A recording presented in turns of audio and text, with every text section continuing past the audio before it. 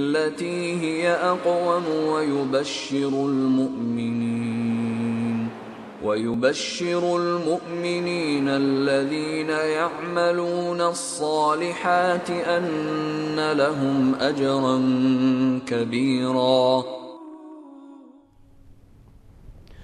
بسم الله الرحمن الرحیم به نستعین الحمد لله رب العالمین والصلاة والسلام على سید المرسلین سیدنا و نبینا محمد و علی آله و صحبه اجمعین با عرض سلام و شب خیر خدمت همه شما بینندگان عزیز و محترم در برنامه قرآنی در پرتوب قرآن کریم. امیدوارم که در هر کجا که هستید صحیح و تندرست باشید و بتونیم لحظاتی رو با هم در سایه کلام الهی و نور هدایت ربانی با هم بگذرونیم آیاتی رو از ابتدا و آغاز سوره عبس در جلسه قبل خدمتتون خوندیم و ترجمه و شرحش رو تقدیم کردیم که ادامه این آیات رو انشاءالله در این جلسه مطرح خواهیم کرد.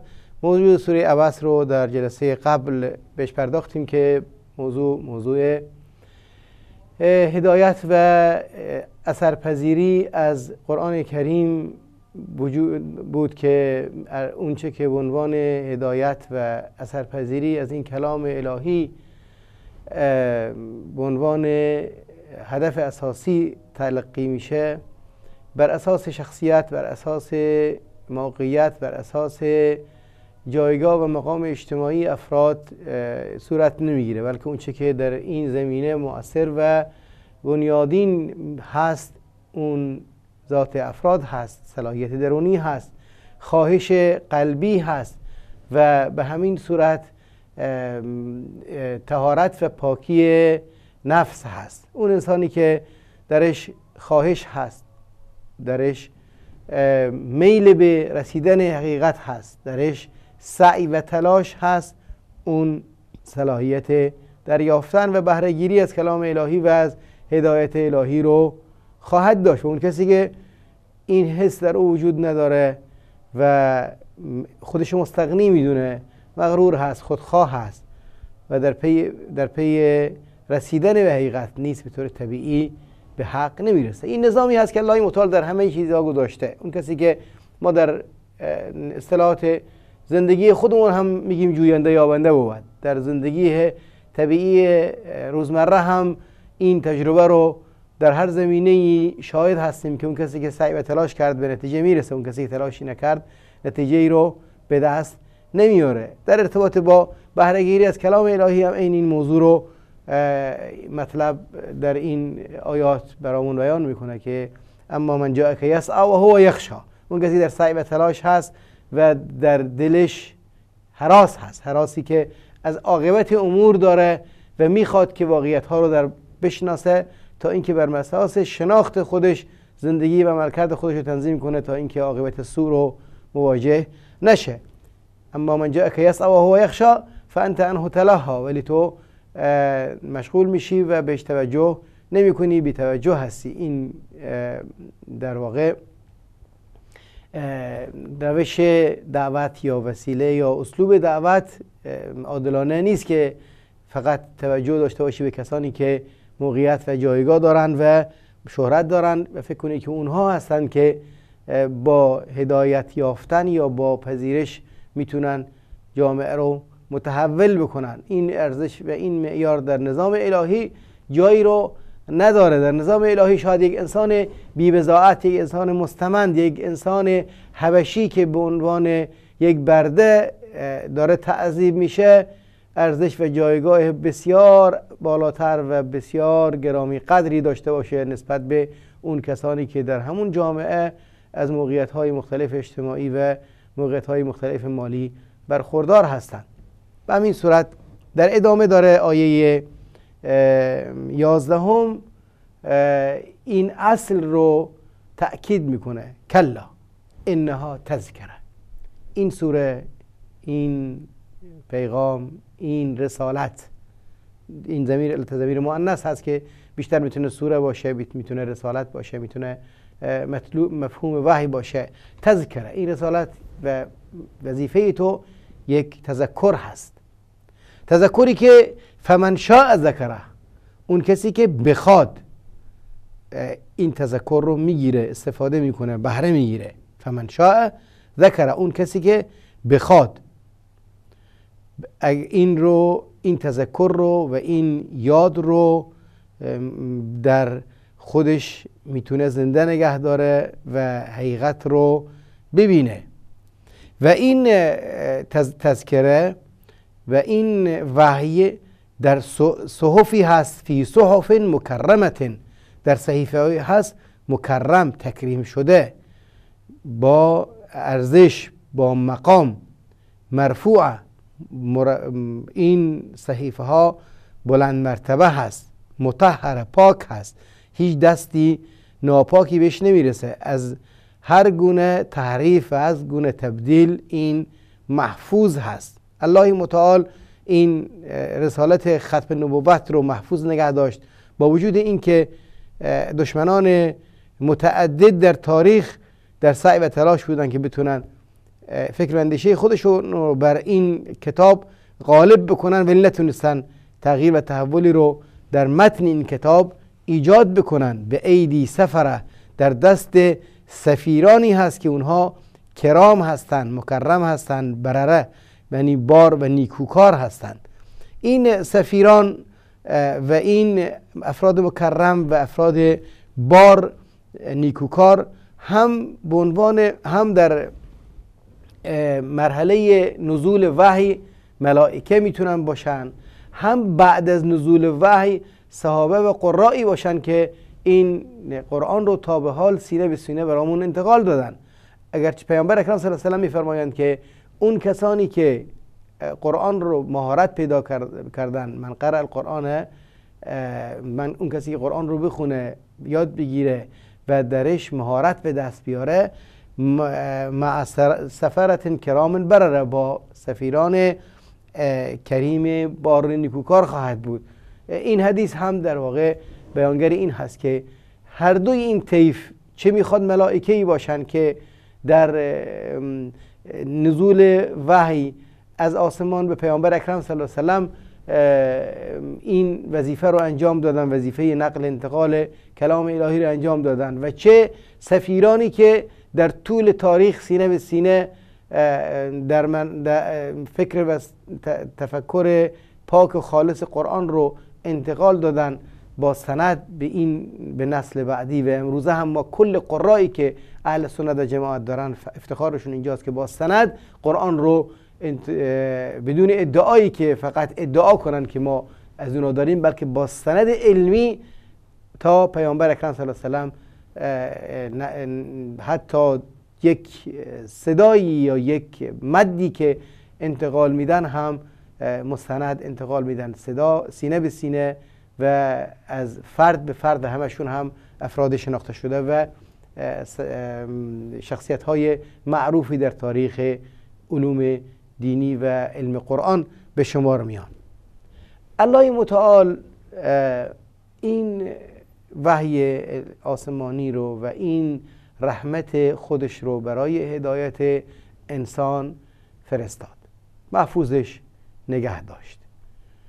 و با افرادی که صلاحیت و شایستگی این حمل این وحی رو داشته باشن این وحی رو منتقل کرد. تکریمش کرد مکرم کرد. دست هیچ عهدی بهش نخورد. امروز از هر گوشه زمین شروع کنید تا به گوشه دیگر این زمین در کوچکترین روستا هم بگردید. قرآنی رو خواهید یافت که با قرآن شرق و غرب این کره زمین تفاوتی در یک فتحه و زمه و کسره نخواهد داشت. این یک اعجازی هست و این یک نعمت و کرامتی هست برای این کلام که الله متعال محقق کرده. الان وقتی که ما میاییم به این ارزش قائل نمیشیم براش اون حیثیت درست رو نمیدیم خود به خود. توجهی به پیام الهی نمی کنیم قتل الانسان و ما اکفره با تمام اینها با تمام این وجود انسان واقعا هلاک بود انسانی که در با وجود این ناسپاس هست. ما اکفره هم می‌تونه سیغه سیغه تعجب باشه چقدر ناسپاس هست و هم می‌تونه سیغه سوال باشه چه چیزی اون رو به کفر کشوند. این انسان رو چه, چه چیزی اون رو به کفر کشوند. ما اکفره و هم می‌تونه باشه ما اکفره معنای چقدر ناسپاس هست. اگرچه هر دو اینها هر دو این معنا می‌تونه هدف این آیه باشه ولی تعجب یا کسرت کفر بیشتر با سیاق آیات تناسب داره. من ای این خلقه. فقط بحث این نعمت هدایت نیست نعمت قرآن نیست نعمت وحی الهی نیست بلکه خودشو در نظر بگیره. من ای شین خلقه. الله متعال اون از چه چیزی خلق کرد؟ خودش می‌دونه که من نطفه خلقه. از یک نطفه ای و او هم نه کل نطفه بلکه بخش بخشی از چند صد هزار این نطفه. یک از یک اسپرمی که باید چندین هزار برابر بشه تا اینکه قابل رؤیت باشه. تا اینکه قابل رؤیت باشه. من ای شیء خلقه من نطفه خلقه. از یک نطفه ای فقدره. اون رو اندازه براش گذاشت. براش حد و حساب گذاشت.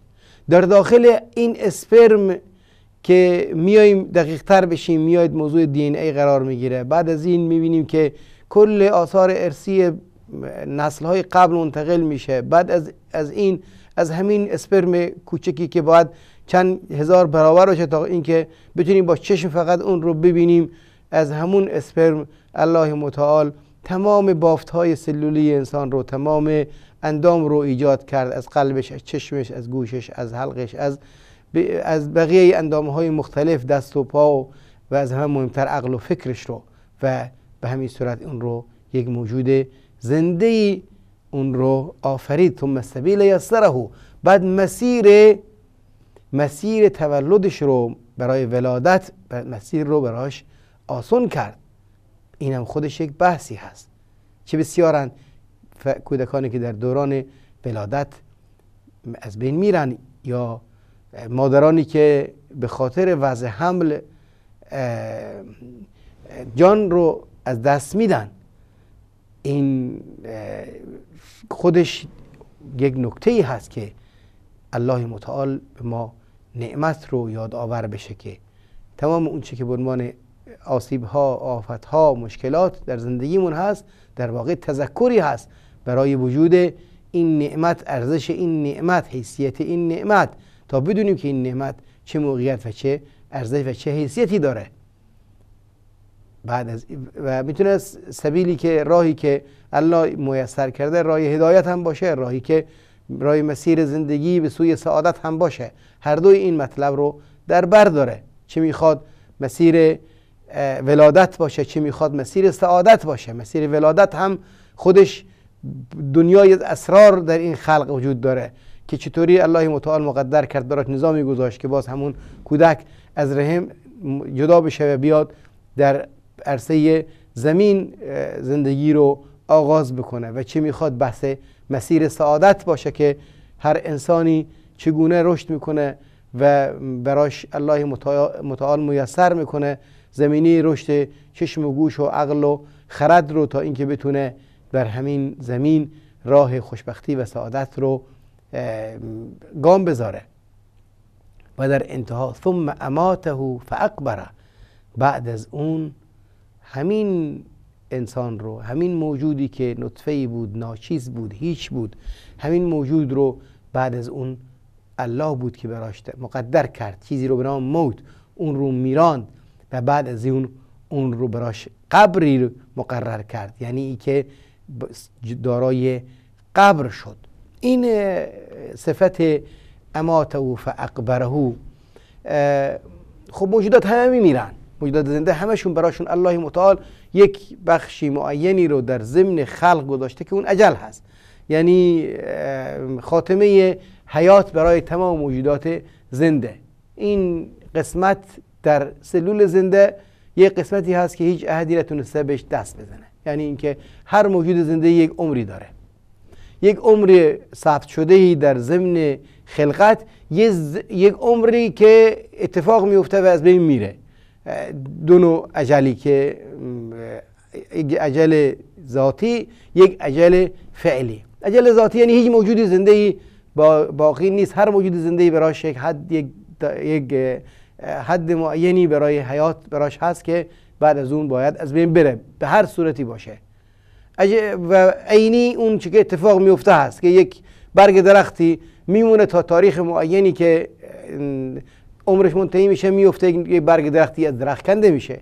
یک درختی تا عمر معینی که براش الله متعال در نظام آفرین گذاشته عمر کنه درختی سیل میاد اون رو می‌بره قطعش می‌کنه یا نجاری برای خودش استفاده می‌کنه و برشش میده و به همین صورت.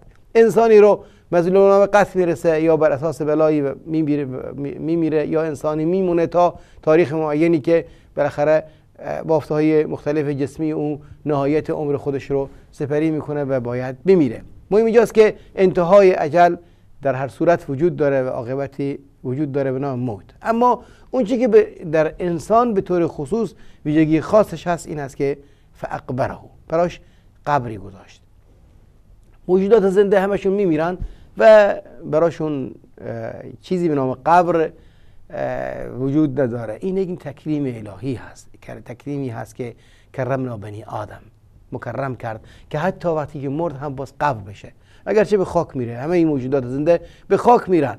و این به خاک رفتن خودش یک نعمتی هست. و الا این موجودات زنده اگر روی خاک میموندن و جذب خاک نمی‌شدن یا خاک جذب این موجودات زنده رو نمی‌کرد. به صرف چند ساعت این زمین کلا متعفن می‌شد که قابل زیستن اصلا نبود. این خودش نعمتی از نعمت های الهی هست. اما مهم اینجاست که انسان ها رو الله متعال مکرم کرد مکرم آفرید که حتی بعد از مرگ هم باز به با تکریم دفن میشن. الان بعد از همه اینها آیا جای کفران نعمت الهی وجود داره که ما نپذیریم حاکمیت و سلطه یکتای اون رو و به الله متعال و به یکتای او ایمان نیاریم. جای تعجب هست واقعا. ما اکفره این کفری که در انسان وجود داره در واقع اساسش و ریشش برمیگرده به ناسپاسی در قبال نعمت ها اگر انسان نعمت های الهی رو به حقیقت این نعمت ها رو اعتراف کنه و اونها رو وجودش رو بپذیره به هیچ عنوان مقام و جایگاه پروردگار متعال رو فراموش نمی‌کنه. اصل ریشه کف و ناباوری در واقع نوع ناسپاسی هست. ریشه ناباوری از ناسپاسی و عدم اعتراف به نعمتهای الهی نشأت گرفته هست. بعد از این شمردن این نعمت های مختلفی که انسان داشته های خودش رو هر چی داره رو از مستر واحدی به دست میاره و اون الله متعال هست. ثم اذا شاء انشره بعد از این هر وقت که بخواد اون رو نشر می‌کنه یعنی اون رو جمع می‌کنه. همون اللهی که ابتدا خلق کرد دوباره هم می‌تونه این خلق رو ایجاد بکنه این خلق رو دوباره زنده بکنه این خلق رو دوباره جمع بکنه. ثم اذا شاء هر وقت که بخواد اون رو نشر می‌کنه هر وقت که بخواد اون رو دوباره حشر می‌کنه هر وقت بخواد اون رو بازخواست می‌کنه. این در ضمن روند طبیعی خلق یک مرحله معمولی به شمار میاد که وقتی که این خلق داره به این صورت مراحل متعدد رو طی می‌کنه بالاخره نهایتی داره و اون نهایت باید معلوم و آشکار در ضمن حکمت حکمت در این خلق و ضمن نظام و قانونی حکیمی که مشاهده میشه باید تفسیر بشه و اون حساب و کتاب هست. کلا. لما یقد ما امره کلا لما یقد ما امره هرگز اینطوری نیست. لما یقد ما امره لما یقد ما امره هنوز محقق نشده اونچه که اون امر کرده. این آیه دو وجه تفسیری داره.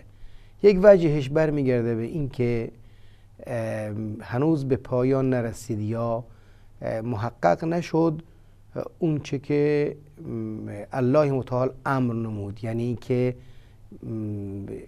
نشر و تاریخ قیام قیامت هنوز فرا نرسید. یعنی خب این فرا رسیدنی هست و محقق شدنی هست.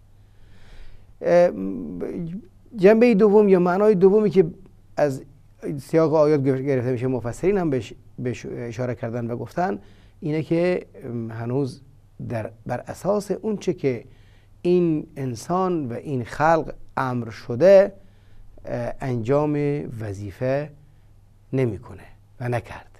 یعنی هنوز نتونست اونچه که باید و شاید رو انجام بده و در قبال وظایفی که براش تعیین شده انجام وظیفه درستی رو بکنه.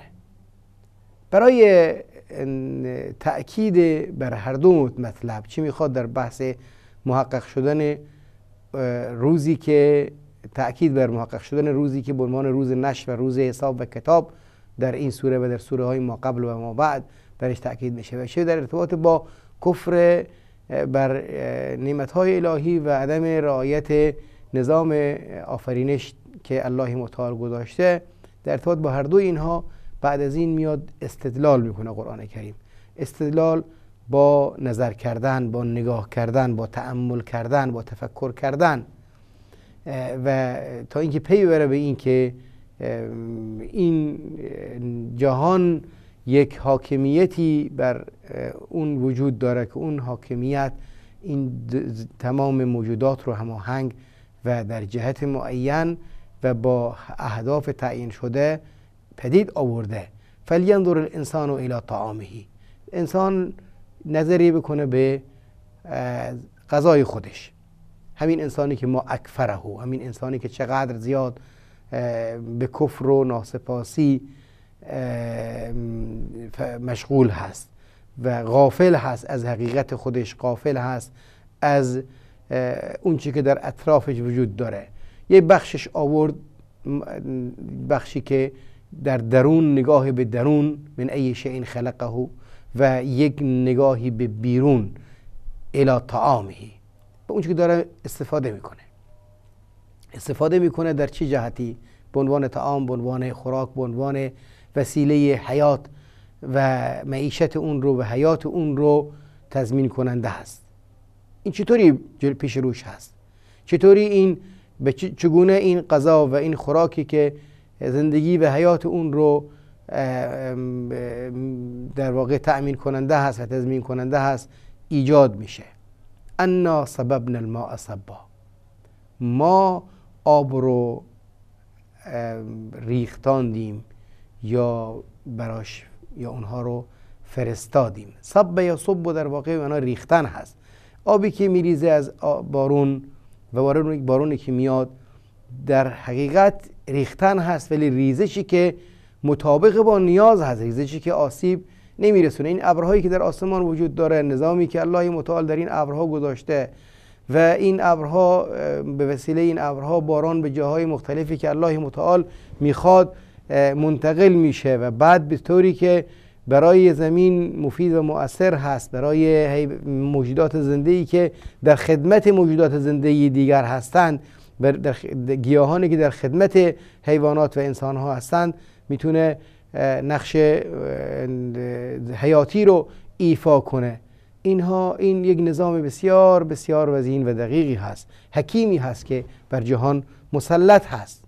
در جلسات قبل هم به این موضوع اشاراتی داشتیم که این فقط ما بیایم روی باران و نظام آفرینش در باران در برف در بقیه اون چی که به عنوان آب ما از آسمان داریم می‌بینیم نگاهی بندازیم دنیایی از حکمت دنیایی از دقت دنیایی از لطف کرم الهی رو مشاهده می‌کنیم. بعد از این می‌بینیم که ثم شققنا الارض شقا. بعد بیایم این آب این آب نازل میشه. این آب نازل میشه بعد خب شققنا الارض شقا. ما بود ما هستیم که این زمین رو شکافتیم. شکافتن زمین به وسیله جوان زدن یک گیاه کار آسون نیست کار ساده نیست. شما بیاید فرض کنید می‌خواهید با یک چوبی زمین رو سوراخ کنید. خب هر چوبی زمین رو سوراخ نمی‌کنه ولی می‌بینید یک جوانه گندمی که هیچ قدرتی نداره چقدر آرام آرام زمین به وسیله او شکافته میشه و باز میشه میاد بیرون. چه نظامی و چه حکومتی و چه سیستمی وجود داره که این رو الله متعال این این قدرت رو گذاشت تا اینکه جوانه بی قوت این گیاه یا این دانه بتونه زمین رو شکاف بده. شما یک برگ درختی رو یک نمی‌دونم چاخه تری رو بگیرید به زمین فشار بدید آیا زمین رو می‌تونید شکاف بدید؟ طبیعتا کار دشواری هست. انحنا پیدا می‌کنه و زمین شکاف داده. نمیشه ولی الله متعال چه نظامی گذاشت و چطوری تناسب گذاشت بین جوانه گندم جوانه هر گیاهی و شکافته شدن زمین تا اینکه بتونه از این از این از زمین بیاد بیرون و از آفتاب استفاده کنه. از زمین غذا بگیره از آفتاب هم انرژی بگیره. فانبتنا فیها حبا. در همین زمین ما حبوبات مختلف دانه های مختلف رو رویاندیم هر دانه ای ویتامین خاصی داره هر دانه ای فایده خاصی داره. هر نوع گیاهی که از این زمین میاد بیرون خاصیت خاصی داره. ویتامین های متعددی داره. دنیایی هست از تعدد از تنوع از تناسب با نیاز انسان و نیاز مخلوقاتی که در خدمت انسان هستند و عنبا و قطبا و در ضمن این اونچه که ما مشاهده می‌کنیم از زمین رویانده میشه انگور هست. عنب و قطبا به همین صورت برسیم یا علفی هست که یونجهی هست که میاد بیرون میاد برای حیوانات. خوراک حیوان هست. هر چیزی حیثیت خاص خودش رو داره هر گیاهی هر نباتی هر میوهی ارزش و جایگاه خاصی رو داره. اگر ما روی این آیات دقیق بشیم و بخوایم اسرار تناسب وجود این گیاهان و این نباتات و این میوه ها رو کنار هم تحلیل کنیم خودش جهانی از علم رو می‌خواد و دانش تجربه بشری رو باید جمع کنیم تا بتونه به نتیجه دقیقی در این باب برسه. ولی مهم اینجاست که همه اینها در خدمت انسان هست و همه اینها با هم تناسب داره. در یک راستای معین هست. و زیتونن و نخلا. ما در اینجا در زمین همین نتیجه نتایجی که از همین زمین از همین آب میاد بیرون باز می‌بینیم زیتون هست نخل هست نخیل هست و حدائق غلبا و باغهایی هست. با درختان تنومند قلب اغلب غالب از یک ریشه هست که معنای قوی و تنومند هست. از همون آب. تنه درخت رو می‌بینید که به تدریج تنه یک نهال میشه درخت. یه درخت تنومند. و این درخت تنومند میوه های متعدد رو میده. همون همون آب هست و همون خاک هست. همون آب هست و همون خاک هست که خرما میاد بیرون ازش و همون آب هست و همون خاک هست که زیتون میاد. همون آب هست که همون خاک هست که انگور میاد. باز خود انگور انواعی داره و خود نمی‌دونم خرما انواعی داره و خود زیتون انواعی داره و به همین صورت گیاهان هر گیاهی انواعی داره و برای حیوانات هم متعدد است متنوع هست. یک نظام بسیار وسیع و یک حکیمی هست که هر چی ما بگیم در واقع کم گفتیم. یک نگاهی فقط بندازیم. فلینظر الانسان. نگاهی بندازه. اما خلق از به خودش نگاه کنه و فلینظر الى طعامه به غذایی که داره می‌خوره چطور اینا تهیه میشه؟ متاعا لکم ولی انعامکم همه اینها برای معیشت شما و برای معیشت چارپایانی هست که در خدمت شما قرار گرفتن. همه این این نظام همه این جهان برای نظامی هست که الله متعال گذاشته برای معیشت برای حیات شما و برای حیات چهار پایانتون. با هم یک برنامه کوتاه می‌بینیم برمیگردیم انشاءالله ادامه آیات رو تا خاتمه سعی می‌کنیم که بتونیم در ادامه برنامه کامل کنیم و در این حال تماس هم زیر نیوز خواهد شد. می‌تونید تماس بگیرید. البته خواهشی که دارم اینه که موضوعات برنامه رو حفظ کنید و با موضوعات پراکنده که بی رفت و بی ارتباط با موضوع برنامه هست. و در این حال شاید اون فردی که این موضوعات رو یا مطالب رو میاره فکر می‌کنه که تونسته مزاحمت ایجاد کنه تونسته شبهه رو ایجاد بکنه. اون کسی که توحید رو فهمید اون کسی که حقیقت مبانی فکری خودش رو فهمید این گونه شبهات هیچ گونه اثری روی فکر عقیدهش نداره. شاید تسلی بخش افرادی مریض دلی باشه که خودشون در واقع در پی حقیقت نیستن. ولی هیچگاه یک انسان موحد یک انسان فهیم و عاقل و خردمند رو این شبهات نمی‌تونه متشنج بکنه یا اینکه به تردید اونها رو بکشونه. میان برنامه با هم می‌بینیم و برخواهیم گشت انشاءالله. در این حال تماس های شما هم استقبال خواهیم کرد. با ما همراه باشید.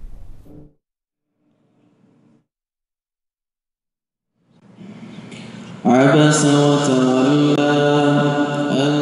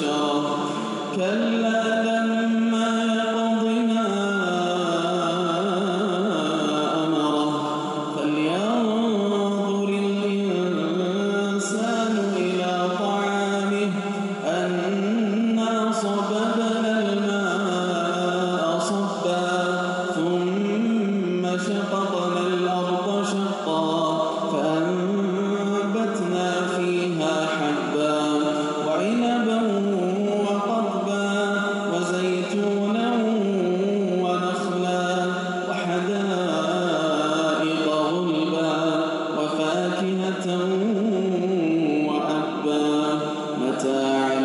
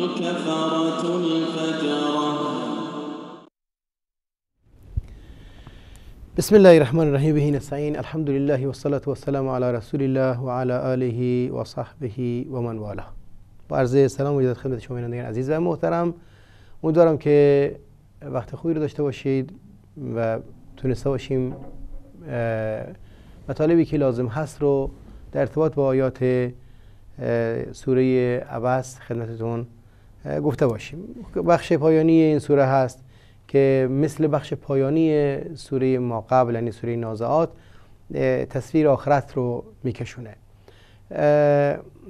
در سوره نازعات به جای تعبیر یا به جای وصف آخرت با کلمه ساخه تامت الکبرا اومده بود. فیدا جاءت تامت الکبرا یوم تذکر الانسان ما سعا اون موقعی که تامت الکبرا یعنی اون مصیبت سخت و دشوار بیاد و انسان همه اون چیزی که جلوش باشه رو ببینه.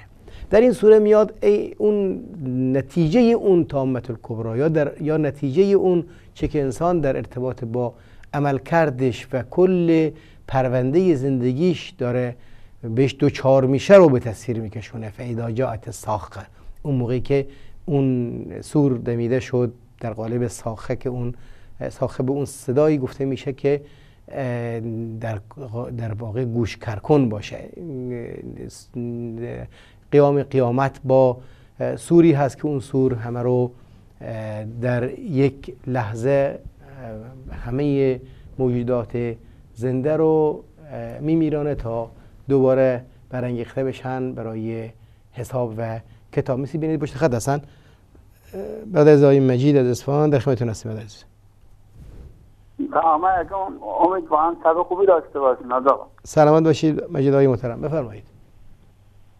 من شما و برنامهتون و همه دستان در کارانه شبکه جهانی نو شما تشکر می‌کنم. و سپاس گذارم از تمام برنامه هاتون و من که من یه دو هم از بینندگانی که میان پشت تلفن و زنگ می‌زنن. مذهب واقعی خودش رو معرفی کنن. نگن مثلا ما شیعه باشه بگیم سنی یا یکی سنی باشه بگه شیعه. مثلا آقای امیر که از ایران زنگ می‌زنه خب بوده از علیکی میگه من هم نه شما صد سال شیعه نبوده.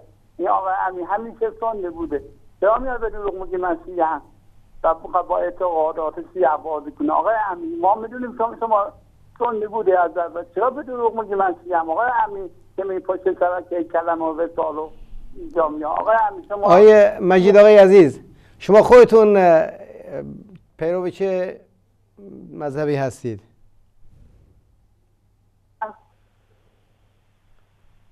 الو؟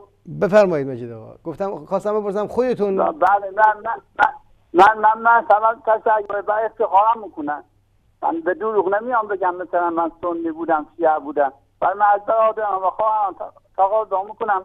علیکی نیام بگم پلیسی طبقه من شیعه نه تو شیعه نیست از اعتقادات و فکر آقا همین مشخصه شما سنی بودی لعنت بر عمر باشه کتاب خب شما اگر فرض کنید یک میلیون بار هم بگید لعنت بر این و اون آیا با لعنت کردن شما که البته حق دارید چون که دینتون کلا بر لعنت قائم هست. اگر لعنت نباشه دینی در واقع نیست. یعنی هیچ گونه توجیهی برای وجود یک مذهب جدید نیست. این مثلا این مذهبی که به عنوان مذهب اهل بیت متاسفانه به مردم معرفی کردن بر اساس لعنت قائم هست.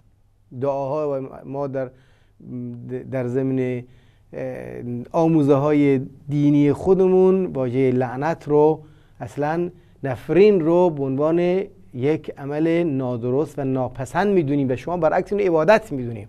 می‌دونید و ضمن دعاها و از کار صبح و شب خودتون اون رو میشمرید. ولی الان نکته ای که سوالی که من دارم برای شما بیننده عزیزی که ناراحتید از اینکه بیننده فرزن میگه من هدایت شدم. خب بالفرض ایشون اصلا اهل سنت هست و اومد مصنوعی یا به دروغ فرض کنید. چون هیچ توجیهی نداره که فرد بیاد. ما الحمدلله اهل سنت نه عددشون کم هست و نه هم حجتشون کم هست که بخوان تصنع بکنن و بسازن. نه نظر عددی مشکل دارن و نه نظر حجت و دلیل و عدت مشکل دارن تا اینکه تصنع بکنن. ولی فرض کنید که شما حقتون حرفتون صحت داشته باشه. من الان می‌خوام بگم که شما به عنوان یک انسانی که ماشاءالله عقل دارید خرد دارید آیا سعادت و خوشبختی خودتون رو در این کتاب آسمانی جایی یافتید که بگه لعنت بکن به صحابه پیامبر اکرم یا در قرآن کریم که کتاب سعادت و خوشبختی هست گفته رضی الله عنهم و رضو عن الله متعال از اونها راضی هست. شما صد هزار بار هم بگید و گفتن در طول تاریخ گفتن تأثیری به حال اونها نداره فقط در پرونده اعمال اونها به کار نیک ثبت میشه. ولی شما دارید خودتون رو هلاک می‌کنید. شما دارید خودتون رو. وقتی که پیامبر صلی الله علیه و میگن که اون کسی که داره لعنت می‌کنه در واقع به خودش برمیگرده. اون کسی که تکفیر می‌کنه یا اینکه طرف مقابل مستحقش هست یا به خودش برمیگرده. شما در واقع دارید خودتون رو آسیب میرسونید. شما نه به عمر آسیب میرسونید و نه به ابوبکر و نه به کسی دیگه نه حتی به ما. آسیب در واقع به خودتون رسوندید برادر عزیز. فکر خودتون باشید و برای خودتون نگران باشید.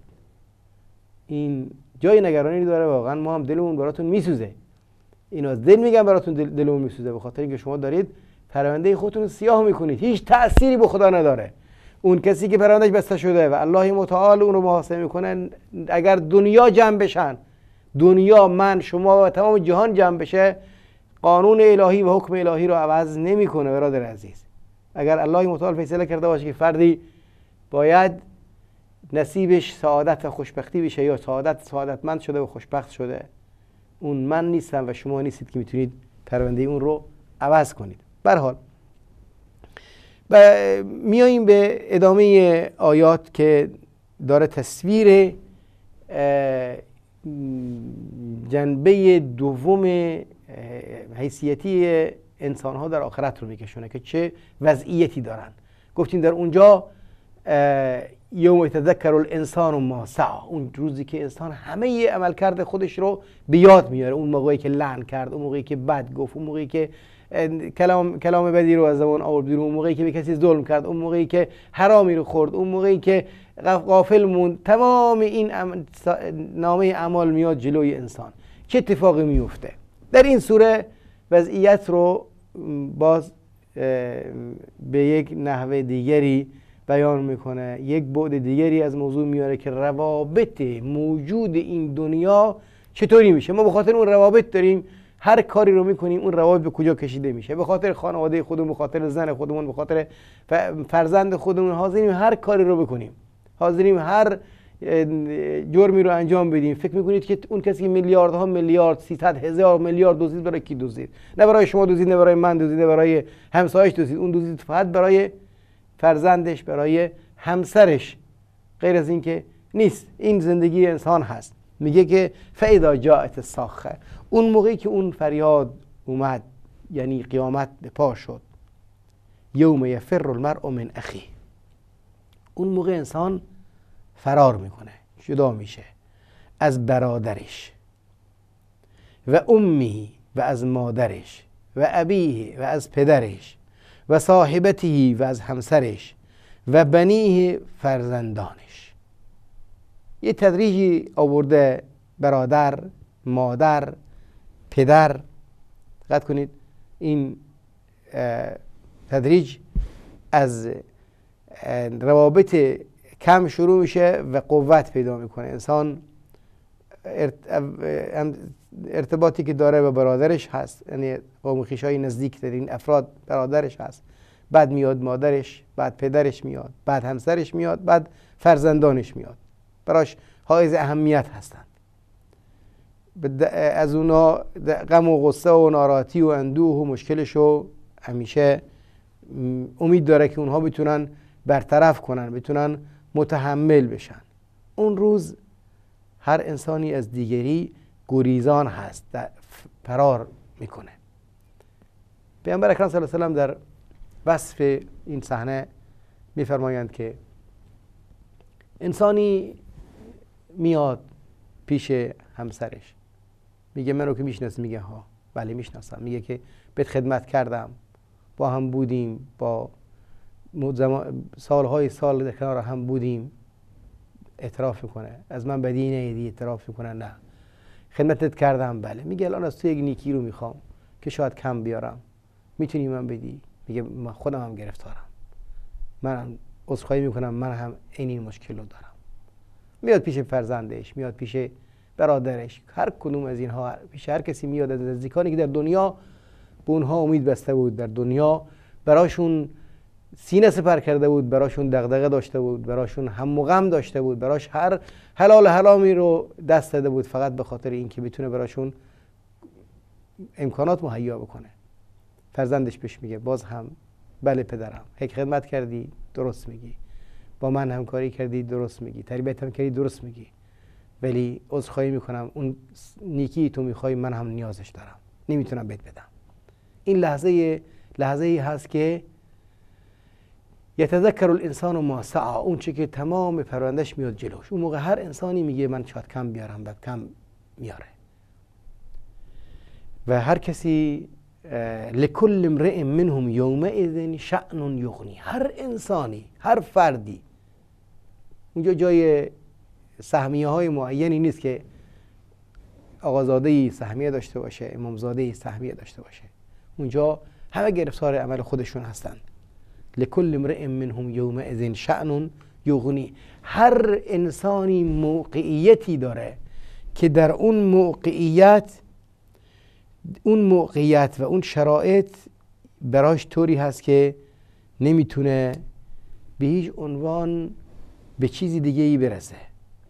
در یک موقعیتی هست که اون موقعیت از هر چیزی اون رو منصرف می‌کنه و بهش وقت یا بهش فرصت یا براش هیچ گونه جایی نمی‌ذاره که به کسی دیگه برسه یا برای کسی دیگه غمی رو بخوره. لکل امرئ منهم یومئذ شأن یغنی هر انسانی. همه گرفتار هستن. گرفتار هستن موقعیتی که درگیر خودشون هستن. هیچ احدی فکر کسی دیگه نیست در اون لحظه.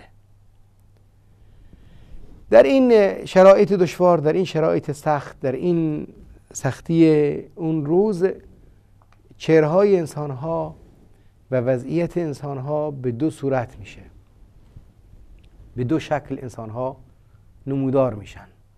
البته خب بعد از اینکه نتایج میاد دست انسان بعد از اینکه نامه اعمالش رو به دستش می‌گیره وجوه یوم ایدن مصفره یک چهره هایی هست که در اون روز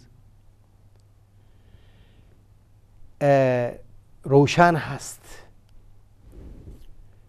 شاداب هست تابان هست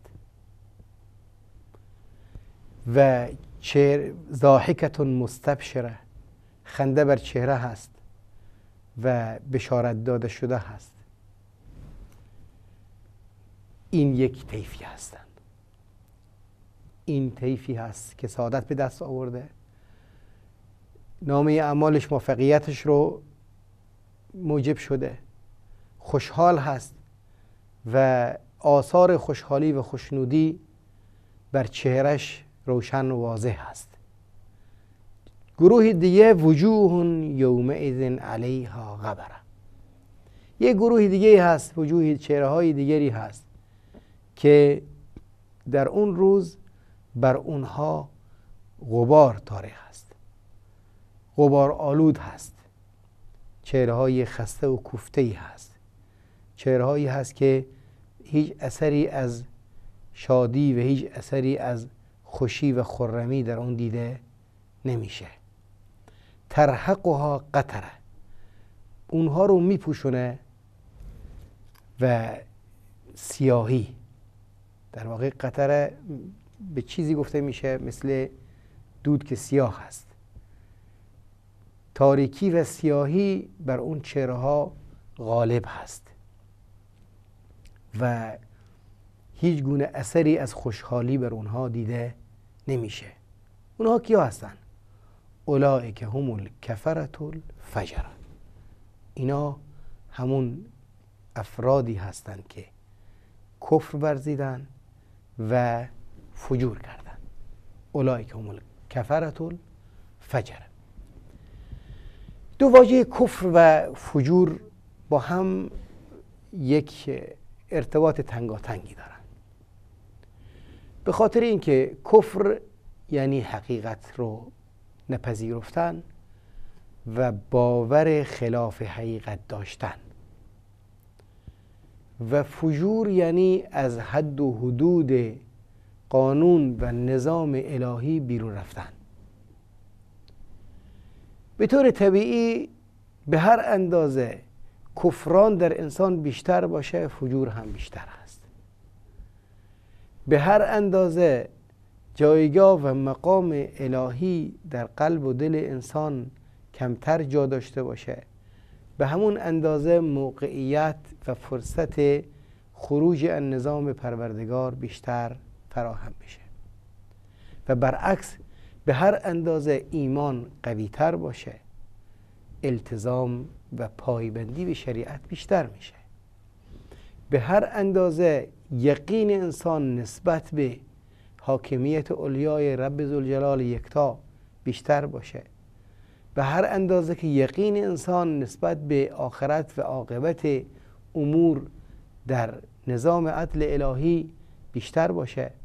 به همون اندازه باز پایبندی انسان هم به قانون الهی بیشتر میشه. در نتیجه برای اینکه ما سعادت و خوشبختی رو به دست بیاریم برای اینکه ما راه سعادت رو بیشتر بتونیم پا بذاریم و بیشتر بتونیم بشناسیم بیشتر بتونیم در اون قدم برداریم و حرکت بکنیم باید ایمان خودمون رو یقین خودمون رو باور خودمون رو تقویت ببخشیم. و برای تقویت دادن و برای اضافه نمودن باور و یقین باید آیات الهی رو قوانین و نظام رب زلجلال رو در این جهان آفرینش روش تحمل داشته باشیم. باید نعمت های پروردگار متعال رو از یاد نبریم. باید لطف کرم رب زلجلال رو همیشه یاد آور باشیم.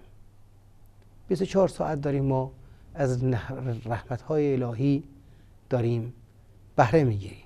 24 ساعت داریم ما زیر لطف و کرم الهی زندگی رو سپری می‌کنیم. قدر این نعمت ها رو دونستن و این نعمت ها رو باور داشتن و این نعمت ها رو به مستر این نعمت ها به بخش بخشاینده و بخششگر این نعمت ها نسبت دادن اون چیزی هست که ایمان ما رو زنده نگه میداره و یقین ما رو تقویت میده.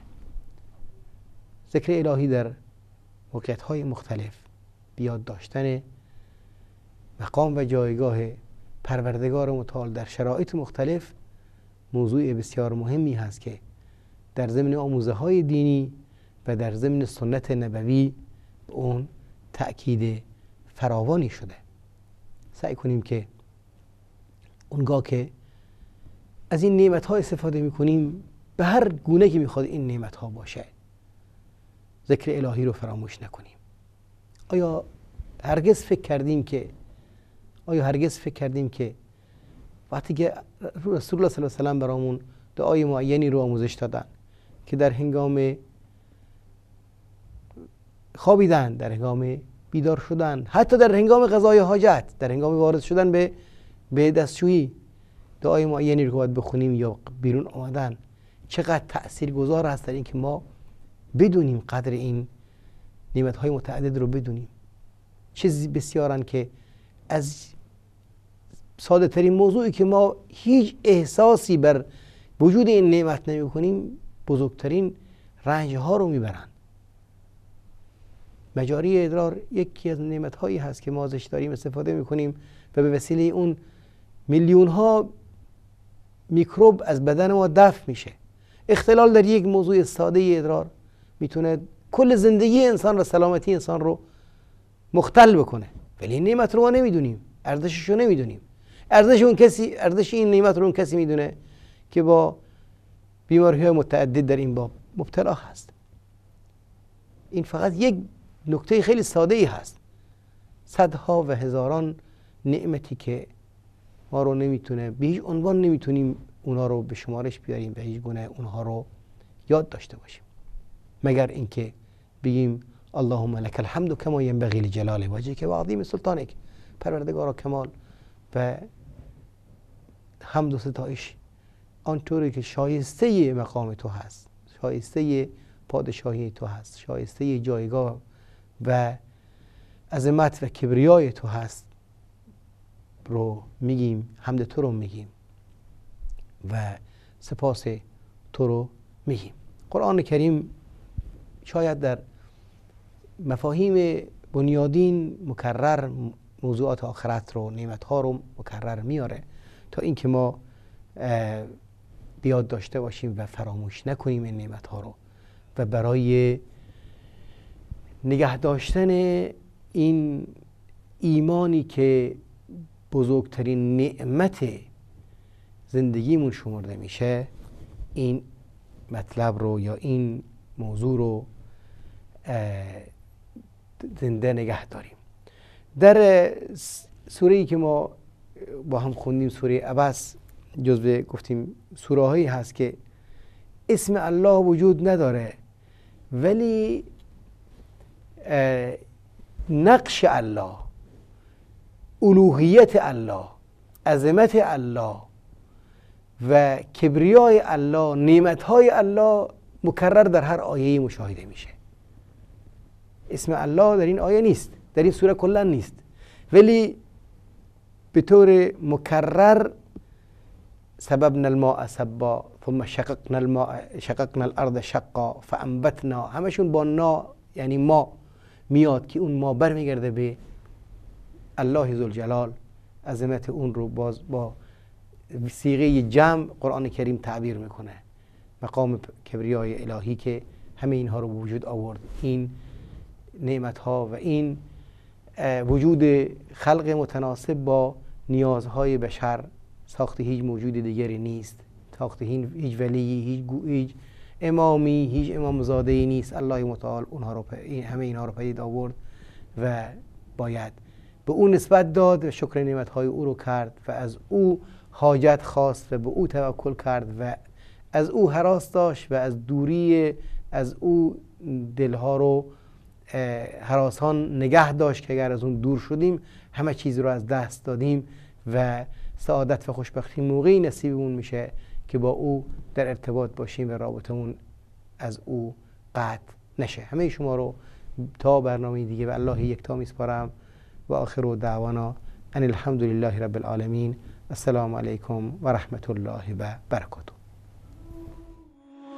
إن هذا القرآن يهدي للتي هي أقوم ويبشر المؤمنين ويبشر المؤمنين الذين يعملون الصالحات أن لهم أجرا كبيرا